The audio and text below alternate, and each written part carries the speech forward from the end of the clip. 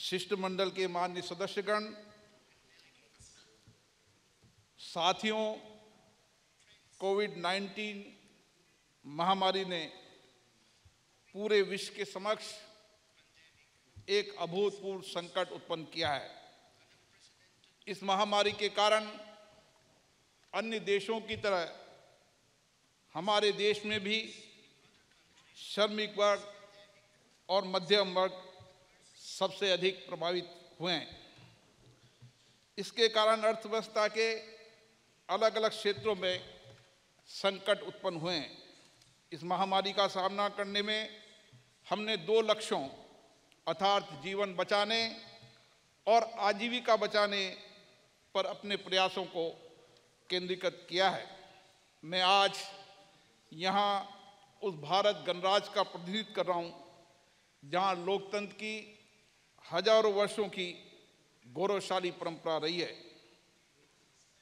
इस 15 अगस्त को भारत ने आज़ादी के पिचहत्तरवें साल में प्रवेश किया है। हमारे विविधतापूर्ण, सशक्त, लोकतांत्रिक देश में हम इसे अमृत महोत्सव के रूप में मना रहे हैं।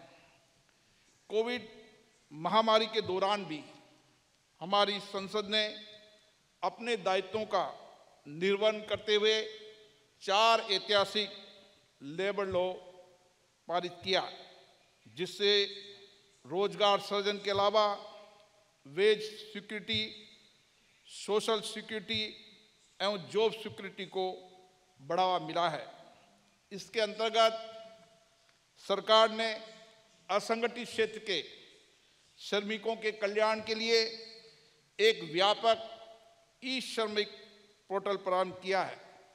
इस पोर्टल में उन श्रमिकों का वेरीफाइड डाटा कलेक्ट करने का प्रावधान है, जिससे लगभग 380 मिलियन श्रमिकों के लिए कल्याणकारी कार्यों का बेहतर क्रियान्वयन हो पाएगा। इससे असंगठित क्षेत्र के मजदूरों तथा एप्लीकेशन बैच श्रमिकों, गिड एंड प्लेटफॉर्म वर्कर को भी संगठित क्षेत्र की तरह पेंशन बीमा, चिकित्सा प्रोविडेंट फंड जैसी सामाजिक सुरक्षा मिल पाएगी।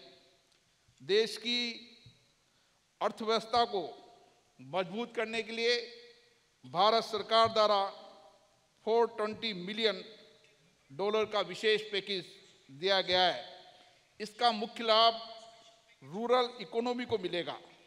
ग्रामीण अर्थव्यवस्था को सशक्त करने के लिए सेल्फ हेल्प ग्रुप में 67 मिलियन महिला सदस्य सक्रियता से काम कर रही है।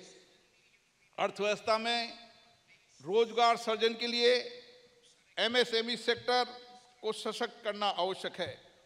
इसके लिए वित्तीय आवंटन पिछले वर्ष की तुलना में इस वर्ष दुगना किया है और 157 बिलियन रुपए का किया गया है।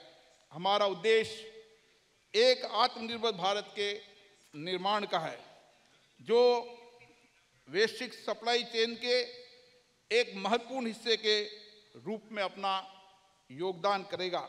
सरकार की सुशासन एवं पारदर्शिता नीति के कारण भारत आज विश्व के top hundred ease of doing business वाले देशों में आ गया है। मुझे पूर्ण विश्वास है, आने वाले समय में भारत विश्व का टॉप इन्वेस्टमेंट डेस्टिनेशन होगा। देश की आर्थिक बुनियाद को मज़बूत करने के लिए नेशनल इंफ्रास्ट्रक्चर पाइपलाइन जैसी महत्वाकांक्षी आधारभूत योजनाएँ प्रारंभ किए, जिससे न केवल इकोनॉमिक ग्रोथ बढ़ेगी, बल्कि देश में बड़े पैमाने पर रोज़गार भी निर्माण होगा। आपको ये सुनकर गर्व होगा कि भारत ने पहली बार 430 मिलियन लोगों को सीधे बैंकिंग सिस्टम से जोड़ा गया है।